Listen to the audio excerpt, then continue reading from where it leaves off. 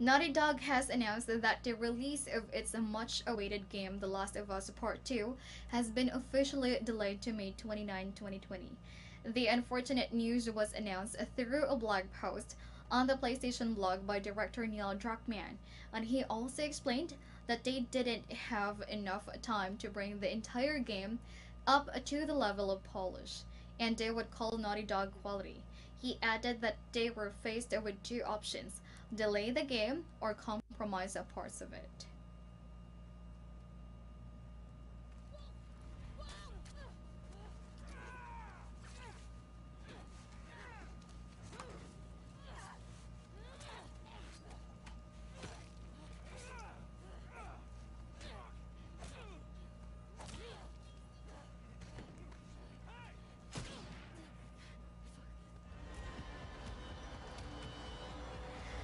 Vein has received a new update uh, just in time for Halloween. The update brings a new character creations options, uh, which includes Halloween-themed accessories, face paints, and color palettes. It also adds a hair symmetry function for players to dress up their characters for Halloween. The update also adds a bunch of bug fixes as well as quality of life improvements to the game's character creation, screen, battle system, exploration aspects, and settings.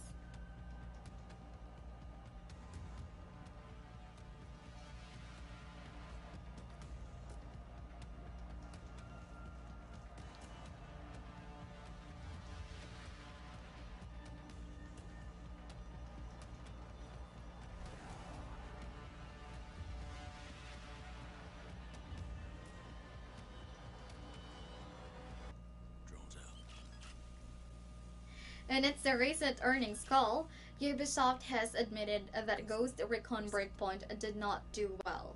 Ubisoft CEO Yves Guillemot said the changes that they bought or they brought to Breakpoint have been strongly rejected by a significant portion of the community, resulting to negative critical reception. With this, the company vows to implement significant changes to production processes to fix the game.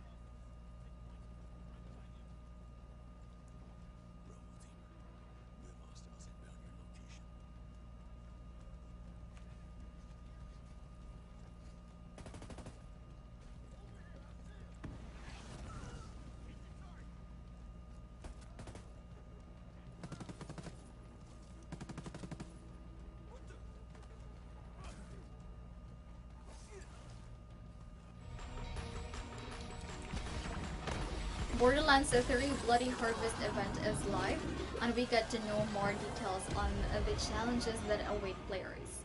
And the event has a total of 15 challenges. Players will also have until December 5th to complete them. Challenges include the killing 500 ghosts in Mayhem mode and looting a Bloody Harvest legendary, solving the pumpkin puzzle, and collecting 50 pieces of Bloody Harvest loot. Visit the game's official website for more information about this event.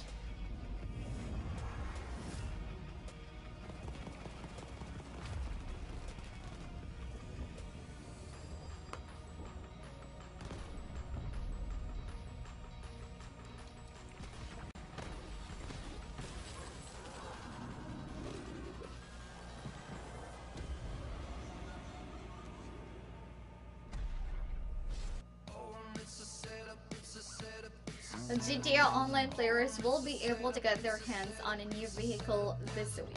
Starting October 24th, uh, players can also get the Pegassi Zorrusso Legendary Motorsports Supercar. It can also be purchased for 2 million in-game cash from Legendary Motorsport. The addition of the supercar is part of the continuation of the Diamond Casino and Resort update and also available in GTA Online this week are Double Cash and RP in the Contact missions, Casino Story missions, Deadline, and the Doomsday Heist finale.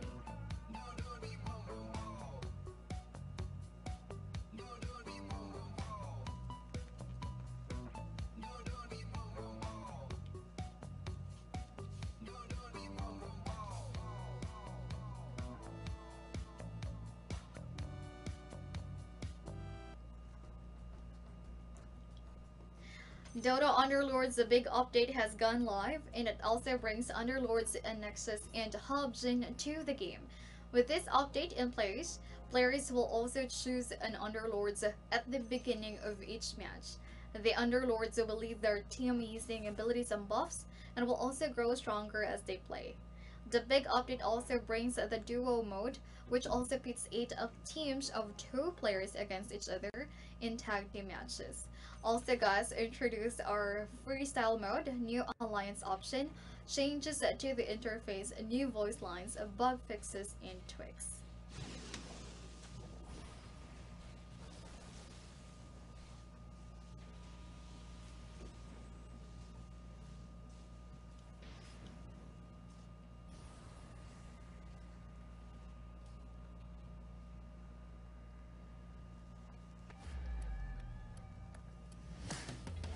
Ring of Elysium Season 6 is here, and it also comes a revamped loadout system, updates to the map, battle boats, and more. The new season also brings a new adventure pass season called Tactical Evolution, and there will also be 30 new characters, new landmarks on the game's map, new tactical abilities, and upgradable boats. Season also welcomes a new island called Emma, which also found in Europa. Full details of Season 6 can also be found at the game's official website.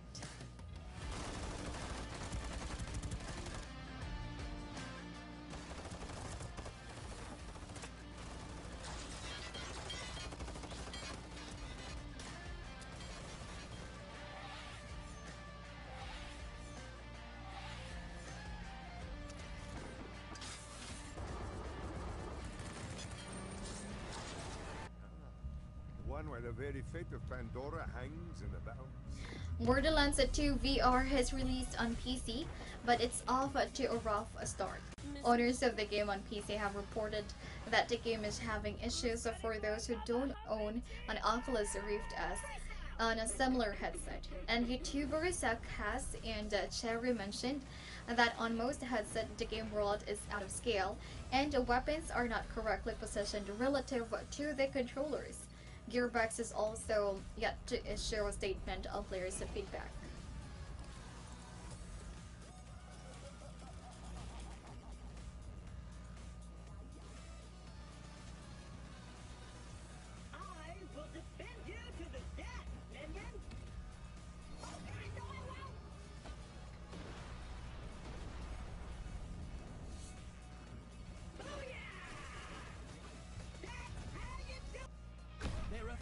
Thousands of possibilities. Ubisoft has announced that they are delaying the release of Watch Dogs Legion, Gods and Monsters, and Rainbow Six Quarantine. All three games are originally expected to arrive within the company's current financial year, which ends on March 2020. And in its recent earning call, Ubisoft said that three games mentioned will now be launching sometime between April 2020 to March 2021. And guys, this delay will also be due to poor sales performance from recent games, specifically Ghost Recon Breakpoint and The Division 2.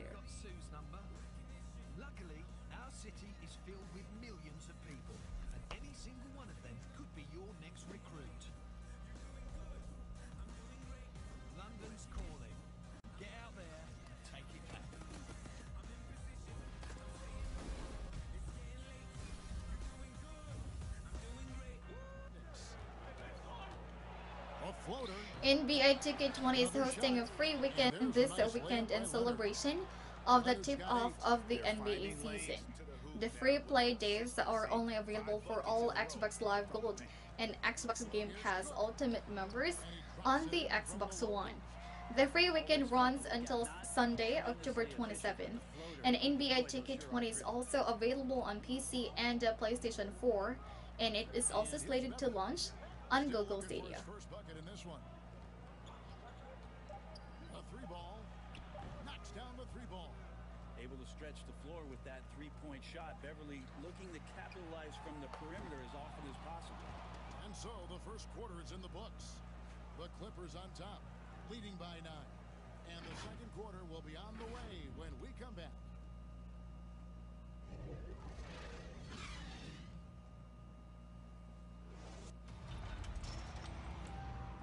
Techland has confirmed Dying Light's crossover with Left 4 Dead 2, and the event is a four-day crossover which started October 24th. During the crossover, players will also experience an increased number of virals, waves of attacking hordes, and intensifying fight for survival, along with the increased amount of guns and ammos. Players who complete the challenges will also receive three event exclusive gold blueprints that will also allow them to craft left 4 Dead 2 weapons, electric guitar, frying pan, and golf club in Dying Light.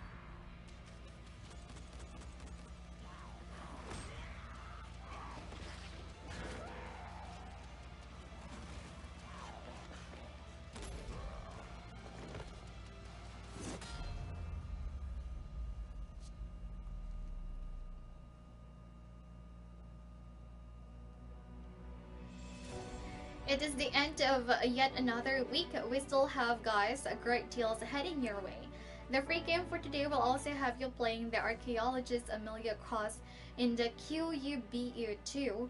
And we also have for you guys three amazing prize drops list, which includes the Farming Simulator 19, Anthem, and Death Mark. And if you are looking for the game with the best discount, it is the third installment of the Dungeon series, Dungeon 3.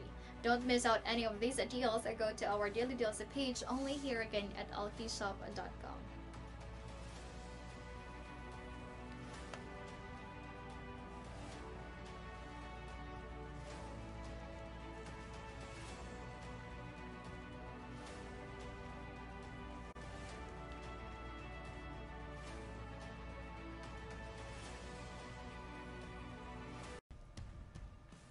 Paradox Interactive was able to roll out a new DLC for their four times strategy sandbox Stellaris. The DLC is called the Lithoids Species Pack and it allows players to control a whole empire of planet-devouring mineral-based creatures. They are made out of rock, making them unaffected by the hostile environments. Players will also be able to make their own variants, having 15 types of lithoid portraits to work with. The Lithoid Species Pack DLC is available for $5.79 or £5.79 and 7.99 euros.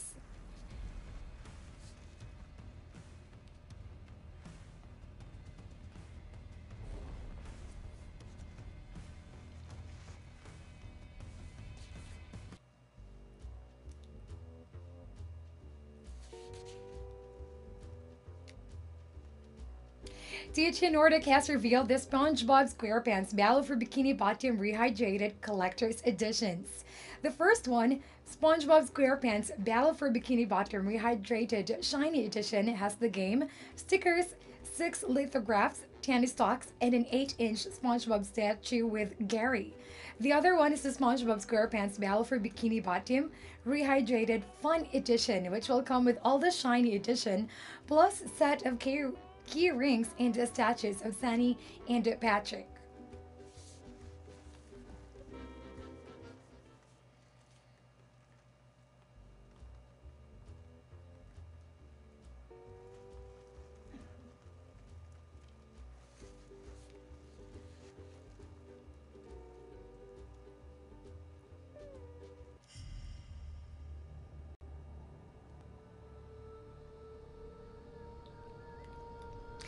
Citadel Forged with Fire is free to play for the weekend as announced by Blue Isle Studios. Get to download the game on Steam and go on a magical journey through the enchanted world of Ignis, trying to master the art of magic. The game offers a massive online sandbox RPG that will teach aspiring wizards the art of magic from the spell casting to broomstick flying. The full game of Citadel Forged with Fire is set to launch on November 1 promising an extensive base building system.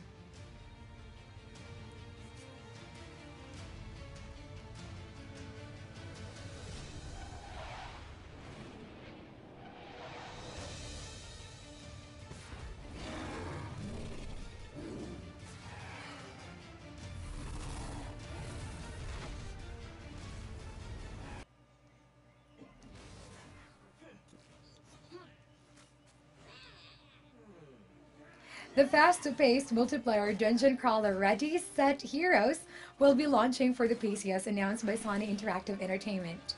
The game was previously a PlayStation 4 exclusive for a month. Its PC launch will be made available in the Epic Game Store on October 29.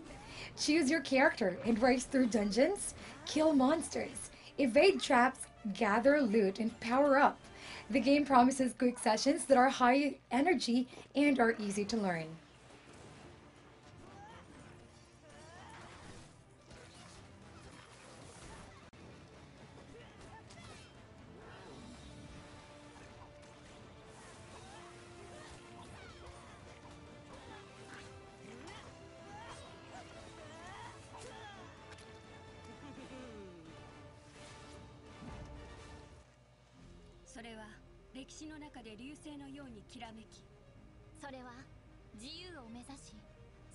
Tactical RPG SD Gundam G Generation Cross Rays will be launching for the PC come November 28, as announced or as announced by Bandai Namco. The game offers players the chance to form their own team of SD Gundams and then deploy them for battles.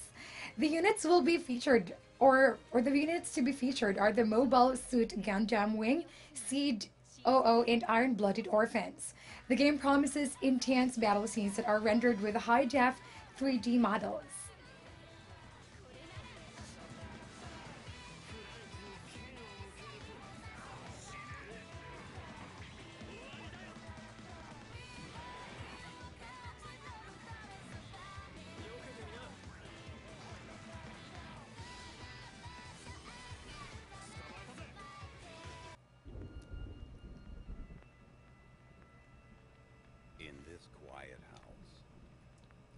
Two games are available for free on the Epic Game Store up until October 31st, and they are Layers of Fear and Cube 2. Layers of Fear is a first person horror game that will let players take the role of an insane painter trying to discover the reason for his madness. Cube 2, on the other hand, is also a first person game, but it's more of a puzzle game that will let you play as Amelia Cross, an archaeologist. Get to solve puzzles in the game's mysterious world in order to get back home.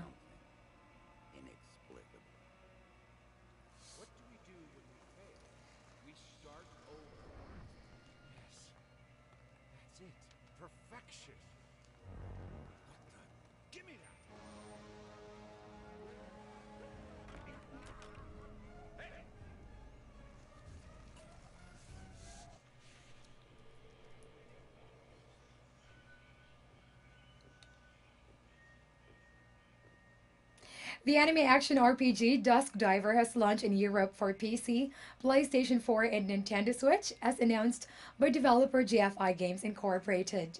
Just Dance International Co. Limited and publisher PQube game is based on the iconic Ximending district of Taipei in Taiwan. It offers a mix of exploration and combat. Dusk Diver will also be available in North America for PC, PlayStation 4, and Nintendo Switch on October 29.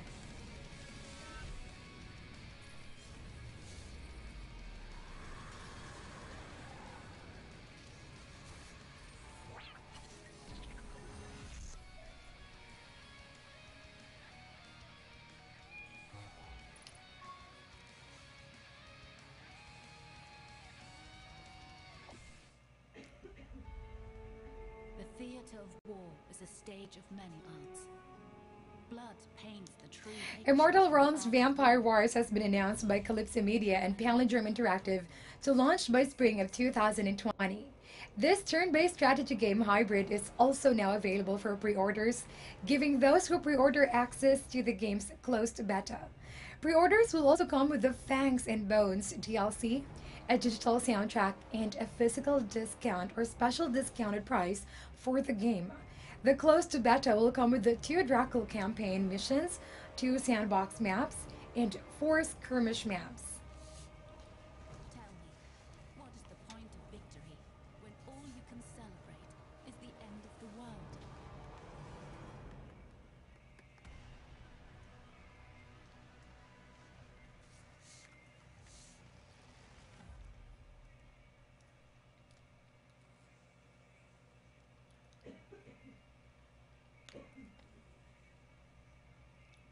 The Beast Inside has launched for the PC. The game offers a movie style approach or horror games. Set in a complex world called Blackstone, get to play as two characters that live in different times, centuries apart, but in the same location. Get to experience a unique history where you will be collecting clues and solving mysteries. The decisions you make will determine the ending that you will get. Enjoy playing in the realism of the game's setting with 3D scanned objects.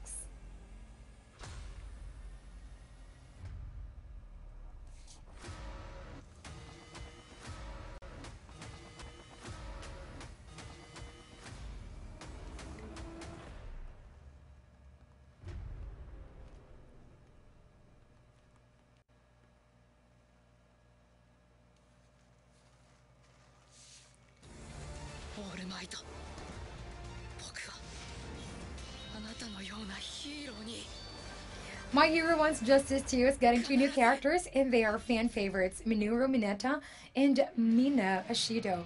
Minoru Mineta is able to produce a sticky ball shaped object from the top of his head and is able to stick opponents down. And for the other hand, Mina Ashido, she has the ability to form a corrosive acid using her body, and it can be used as both offense and defense. My Hero One's Justice 2 will be launching for PlayStation 4, Xbox One, Nintendo Switch, and PC in 2020.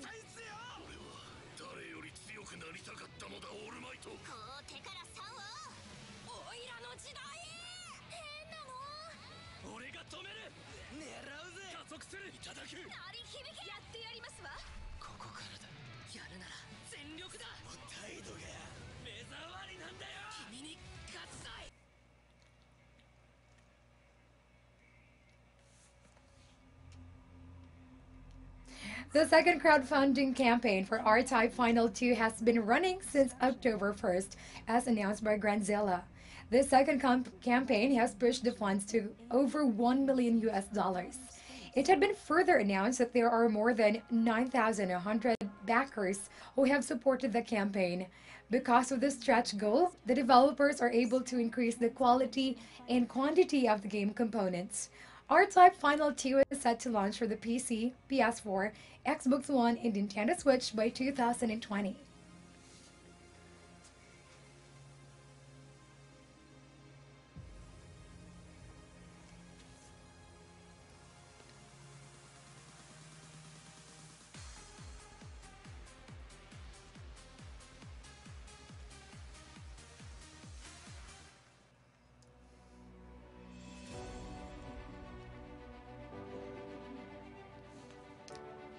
It is the end of yet another week, and we still have great deals heading your way.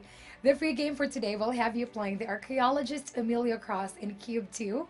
We also have for you the three amazing games in our price drop list, which include Farming Simulator 19, Anthem, and Death Mark. And if you're looking for the game with the best discount, it is the third installment of the Dungeon series, Dungeons 3. Don't miss out any of these deals. Go to the daily deals page on allkeyshop.com.